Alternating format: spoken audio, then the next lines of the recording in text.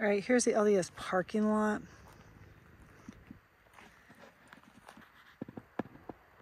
As you see, they got this little jungle gym contraption stuff here. I'm assuming this is kind of the back of the lot here.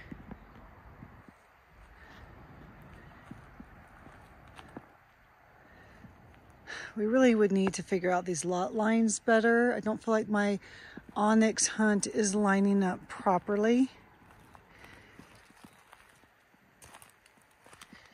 And uh, just see, because I mean, there's some semi, semi-flat area here. And then try to find some access to get into this lot. But if you can see right down there is the cabin. So theoretically, where I'm standing,